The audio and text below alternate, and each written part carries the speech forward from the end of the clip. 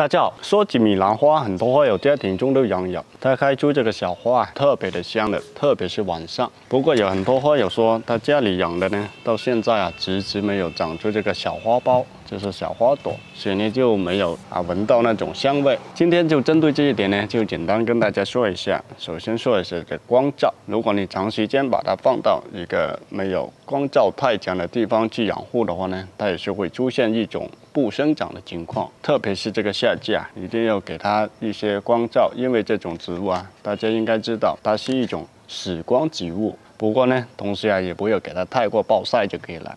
中午的太阳最好搬到室内或者是遮阴的地方，给它避一下阴是比较好的。这样呢，让它一些散射光，让它照射就可以了。这样呢，它就会慢慢的啊生长起来了。同时呢，也别忘了给它补肥啊。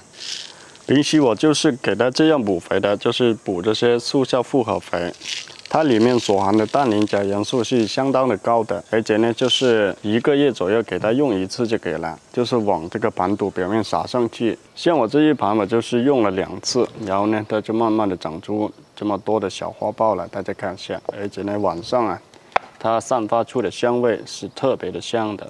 像我这一盘的话，这个使用的量。